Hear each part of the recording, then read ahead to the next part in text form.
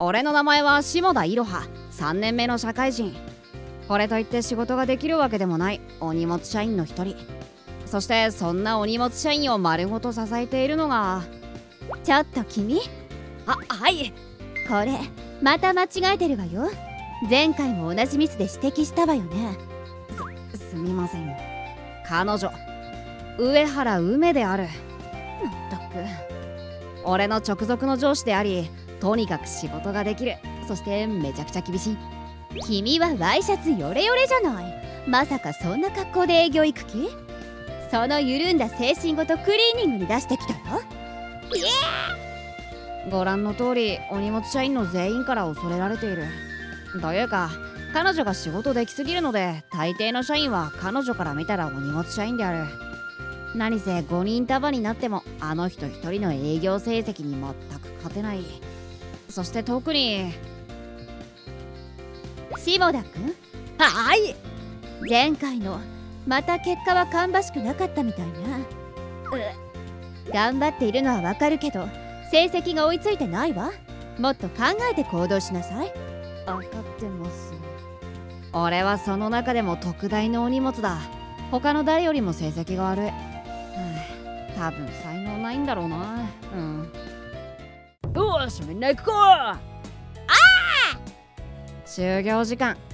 金曜日のこの時間はみんな決まって飲みに行く。まあ話したいことが山のようにあるんだろう。この仕事ストレスたまるしな。終わった。そしてそんな連中には目もくれず上原さんは一人でパソコンを叩き続けている。しゃあね相変わらずだな。まああの人は仕事一筋だししょうがねえよ誘っても迷惑だろ。というか声かけるの怖いしな。うん。誰も彼女に声をかけない。彼女も誰にも声をかけない。彼女が誰かと遊びに出かけたり飲みに出かけたりなんならいっそ一緒に帰っているところすら見たことがない。そう。彼女はいつも一人でいる。そして主任。何？下田くん主任は飲み行かないんですか？私はいいのやることあるしそれにみんなでワイワイするの向いてないもの。君の方こそさっさと行ってくればもう仕事終わったんでしょ？まあそうですけど。じゃあ行ってらっしゃい。楽しんできて。その姿が時折寂しそうに見えるのだ、はあ、どうぞ。え？なんで？俺もみんなでワイワイするのそんなに得意じゃないんでというかワイワイできるほどのスペックがないだけなんだけど仕事の愚痴を言えたり客の愚痴を言えたりするのはなんだかんだそれなりに仕事をしているやつに限る。俺ぐらいのレベルになると仕事ができなさすぎる自己嫌悪感が勝りもはや話すどころではないのだ。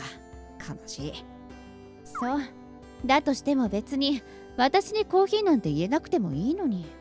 いやむしろこれくらいじゃ足りないくらいですけど主任の仕事が多いのは俺が仕事できなさすぎるのも原因の一つですし。まあそれはそうね。すんなり肯定されるとそれはそれでつれえ。冗談よ。上司に余計な気遣いはしなくていいわ。いつまでも残ってないでさっさと帰りなさい。わ分かりました。まあとはいえ。ありがとね。はい。それではもう少しいてもらえばよかったかな。いやダメよ。私は上司であっちは部下。残らせたりなんかしたら気を使わせちゃう。さあ早く切り替えて仕事仕事。はあ。そして週明け。はあ。朝っぱらから俺はめちゃくちゃ落ち込んでいた分かっちゃいたけどやっぱり俺はこの仕事向いてないんだな先ほど俺が課長に個室へ呼び出されて言われた言葉が君なりに頑張ってるのかもしれないがさすがに成長がなさすぎる。このままでは同期に置いていかれる一方だよ。というもの。ええええ分かってますよ。このままこの仕事を続けていても俺はきっとみんなの足を引っ張り続けるだけだってことくらい。やめるか。うんそうだな。やめよう。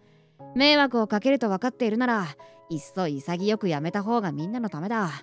上原さんにだってこれ以上負担をかけたくないし。それで俺ももっと自分に向いてる仕事を探せばいいんだ。よしそうしよう。まあそんな仕事あるかどうかわからないけど。で私に話って何？というわけで意を決して俺は早速辞表を片手に上原さんのもとへやってきていた。そう辞めるのであればまずは直属の上司である彼女に報告をしなければならない。実はですね。ん？何よ。歯切れ悪いわね。きっと彼女のことだ。辞表なんて出そうものなら。は？あ甘えたこと言ってんじゃないわよ。この程度で逃げ出すなんて仕事なめてんの？とか言われるのが容易に想像ができる。しかし出さないことには始まらないここでもじもじしてたって仕方ないんだ。ねえママよ。これ。え？すみません。いろいろ考えたんですが俺はもうやめようと思います。辞めるってまさかこの会社を？はい。それってつまり君はもう私の部下じゃなくなるってことよね。ままあそうなりますけど。そうなったら私はもう下田君に笑いかけてもらうこともコーヒーを入れてもらうこともない。あの主任い一応聞くけど本気？撤回するつもりはなし？はいありません。そうわかった。これ受け取るわ。後で報告しておく。あれなんか拍子抜けだな。もっといろいろ言われるかと思ったのに結構あっさり受け取られてしまった。えいや別に引き止めて欲しかったとかそういうわけじゃないけども。ちなみに君ここを辞めた後はどうするつもりなの？その反応まさかとは思うけど何も考えてないとか、はあ、どうするのよ。再就職先の目でも立ってない状態で辞めても大変でしょ？それはそうなんですけど。でもこれ以上ここにいても申し訳ないっていうか。申し訳ない？何それ？何かあったの？実は。なるほどね。隠すようなことでもないので俺は課長に言われたことをそのまま上原さんに伝えることに。もちろんそれだけが理由ってわけじゃないですけど自分が周りの足を引っ張っているのは気づいていたんで。うん。これは考えようによっては絶好のチャンスよね。お互いの利害は一致するし。だからまあさっさとやめた方がみんなのためっていうか下田君あはい。下田君はここを辞めた後の就職先に困っているのよね。そうですね。正直俺みたいな無能を雇ってくれるところがあるかどうか。それならいい就職先があるわ。え本当ですか？どこですか？私。あ？私の専業主婦。はい。何言ってんだこの人。どうかしら移住職バッチリ用意するし不自由はさせないわ。いやいやいやいやそういう問題ではなく。何よ嫌なの？そうじゃなくてそそれってつまり結婚するってことですよね。もちろん。いきなり結婚しなくてもいいわ。同性からでもか。いや同性でも十分おかしいですけど。まあこのタイミングで言うのもなんだけど私ぶっちゃけ君のこと好きなのよ。いやいや。正直仕事の疲れやストレスも君のおかげで癒されていたところあったし。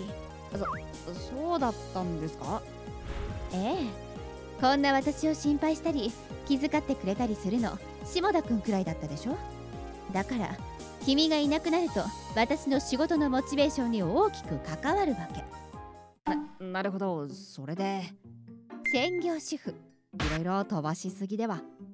最悪彼氏でもいいわもはや結ばれるのは確定なんですね。もしかして私のこと嫌いかしら？いやその正直俺も先輩のことはすごい尊敬してますしどちらかというと好き寄りですけど。よかったわ。結婚しましょ落ち着いてください。まだそれが恋愛感情の好きかどうかまでは分かりません。わかる前に一旦婚姻届にハンコだけでも押さない？押しませんさすが営業成績トップ。契約を取るためのグイグイさがすごい。できれば別の形で学びたかった。勢いでここまで言っておいてなんだけど本当に私下田くんのこと好きなの？正直失いたくない。う改めてそう言われるとすごいドキドキする。だから私のこと好きじゃなくてもいい。そばにいてくれるだけでいいの。さっきも言ったけど就職先として私のことを利用してくれればそれでいい。私のこと嫌いでさえなければ君にとっても悪くない条件でしょ？もちろん断るのは自由よ。最後の判断は任せるわ。確かに彼女の言う通り。今の俺に行くところはない。今後の就職先の目でも立たない。俺を必要としてくれる場所なんてもしかしたらどこにもないかもしれない。ならば。ただいま。あおかえりなさい。俺は俺を必要としてくれる場所に行くことにした。会社を辞め彼女の家に住むようになってから早1ヶ月。今のところは順調に日々を過ごしている。ただ。下田くんちょっと。癒されるわ。この距離の近さには未だになれない。というのも俺たち別に付き合っているわけではないのだ一緒に働いている時は知りませんでしたけど主任ってめちゃくちゃ甘えん坊なんですね。そりゃ今や君は私を癒すことが仕事だもの。今までみたいに我慢しなくていいんだから堂々と甘えるわよ。というわけで 下田くん。あのもう少し我慢した方がいいと思います。自身の尊厳のためにも。とても人様にお見せできる状態ではない。いいのよ今さら君に対して私の尊厳なんてないようなものだし君以外に見せるつもりもない姿だから。一応俺は今でも主任のことは尊敬してますけど。だからその呼び方はやめなさい。もう会社の人間じゃないんだから。あすいません。つい癖で。いい加減梅さんって呼んでもらえるかしら。なんなら梅って呼び捨てでも。上原さんご飯できてますよ。おいこれ。自分だって下田くん呼びのくせに。おいしい。よかったです。期待通り家事全般毎日頑張ってくれてるわね下田くん。おかげで助かってるわ。あいやまあ大したことしてないですけどそもそも俺にはこれくらいしかできないしな。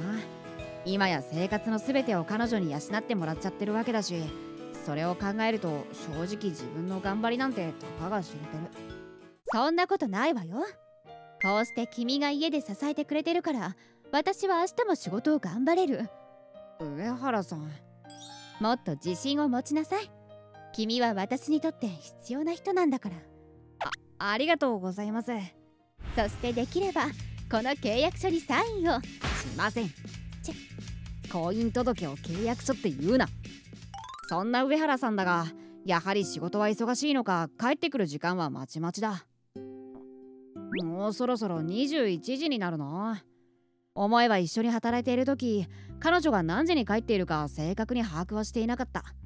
知っているのはただ一人でいつも残って作業をしていたということだけ。一緒に暮らすようになって嫌でも思い知らされる。彼女が会社でどれだけ頑張っているのか。そして俺はそれを少しも分かっていなかったってこと。ただいま。おかえりなさい。遅かったですね。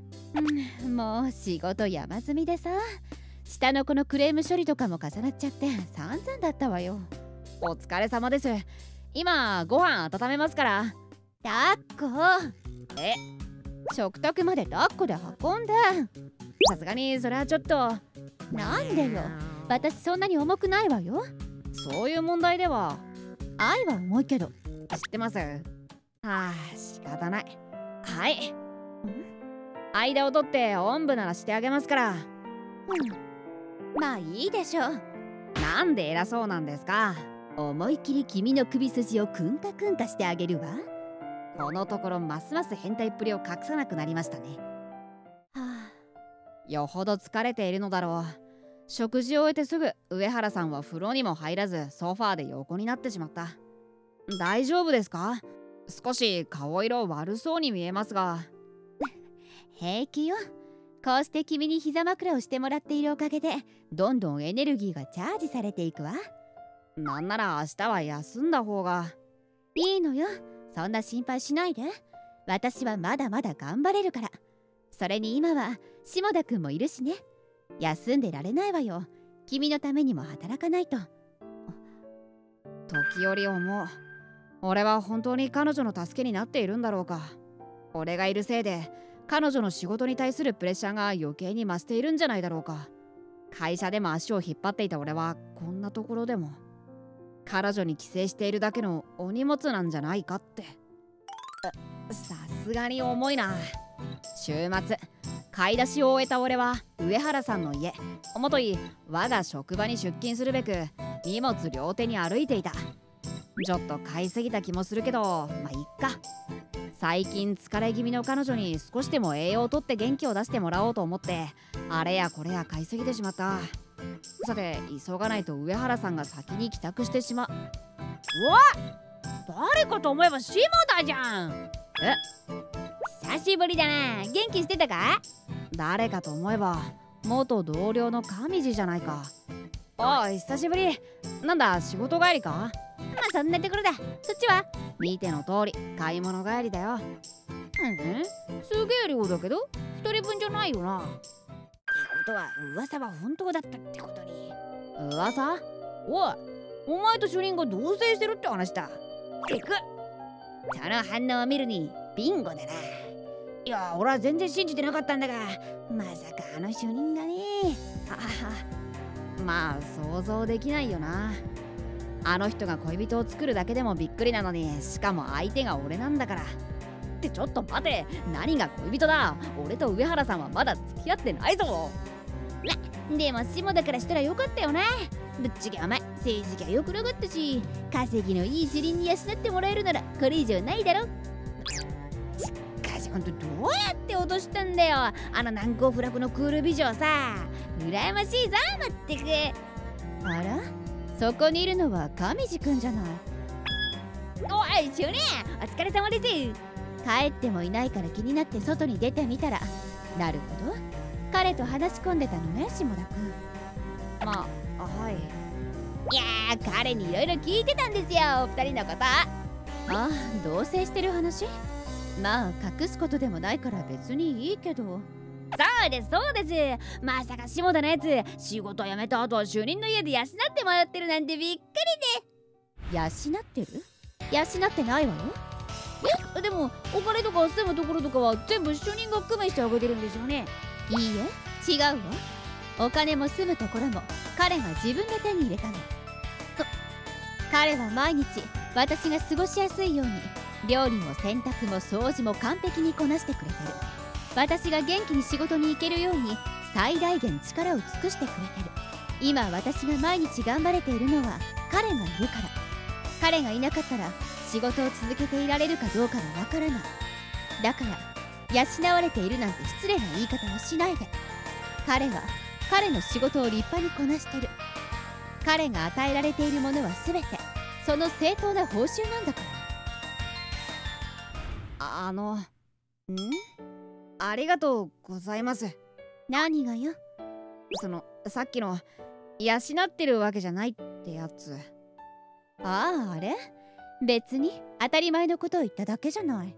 そう思ってくれてるのが嬉しいんです。そう？まあ下田くんが喜んでくれてるならそれに越したことはないけど。イロハです。え？そろそろイロハって呼んでください。そしたら俺もその上原さんのことを梅さんって呼んで。ちょで大丈夫ですか？これが大丈夫に見える？見えないけども。いきなりそれは反則よ。思わず興奮してしまったじゃない。立てます？いえ。クラクラするわ。あまりの嬉しさで。さあ。もうすぐ家ですしこのくらいの距離なら運んであげますよ。ああ気絶してしまった。おーい梅さん。やれやれ。この調子じゃ俺が婚姻届にサインした日にはそのまま帰らぬ人になってしまいそうだな、うん、今日が命日にならないことを祈ろう。行きたくない。ダメです。わがまま言わないでください。でもいろはくんと離れたくないし俺のおかげで仕事頑張れてるって設定はどこに？しょうがないじゃない。いろはくんのことが好きになりすぎてもはや離れただけで精神的なダメージを負うようになったんだから。やっぱり俺は足を引っ張っているのでは。違う違うから。そんな目をしないで。私頑張ってくる。行ってきます。付き合ってしばらく。ますますやりとりの紐っぽさが増してしまった今日この頃であった。今日の夕食はキャラクターをかたどってみました。まあ可愛い豚さんね。あのサルベド猫なんですけど。可愛いサルベド猫！うんもう美味しい！